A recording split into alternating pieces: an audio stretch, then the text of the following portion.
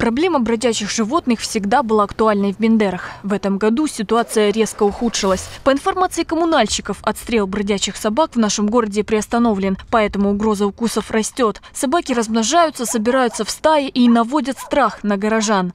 За 11 месяцев э, 2015 года э, у нас зарегистрировано 316 случаев обращений граждан нашего города по поводу укусов животными. И э, что в 1,3 раза больше, чем за тот же аналогичный период прошлого года. Треть всех укушенных – это дети. 99 случаев вот за 11 месяцев или 31,3%. Более половины обратившихся пострадали от нападения бродячих животных. Известный случай, когда на улице Кишиневской одна и та же бездомная собака покусала более 10 человек. Проблема с каждым днем приобретает все больший масштаб. С начала года после укусов собак за помощью к врачу-рабиологу уже обратились 190 человек. Специалист отмечает, нападение животных приводит к последствиям различной степени тяжести. Раны бывают различной локализации, это в зависимости, за какие места укусило животное. Бывает за нижние конечности, чаще голени, чаще бывает по задней поверхности, также за кисти рук, если э, боль- больной ласкает животное, или за лицо, когда он более тесном контакте. Были у нас случаи, когда повреждаются не только мягкие ткани, но и костные ткани. Чаще бывало это переломы костей кисти, предплечья.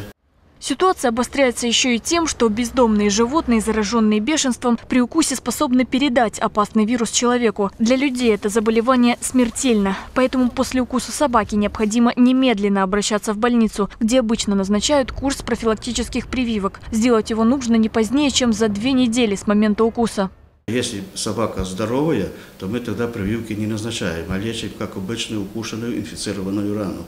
А если собака неизвестная, мы тут не знаем, больная она бешенством или нет, поэтому мы обязаны делать профилактические прививки, так как бешенство – это инфекционное заболевание, опасное для человека, и мы его можем предотвратить. Но когда человек заболевает, лечить мы не можем. Это нет э, еще в мире человека, который выздоровел от заболевания бешенства.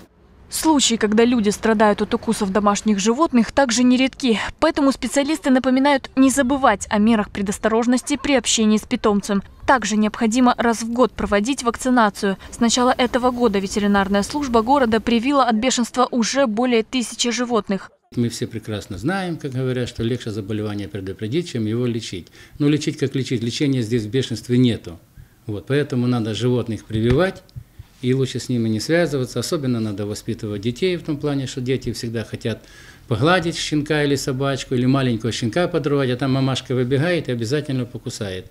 То есть меры предосторожности с животными надо соблюдать. Если укуса животного избежать не удалось, нужно сразу промыть рану с мылом, а края обработать спиртом. Это убьет 80% вируса. Затем следует незамедлительно обратиться к врачу. Екатерина Чеботарь, Иван Зелинский, Бендерское телевидение.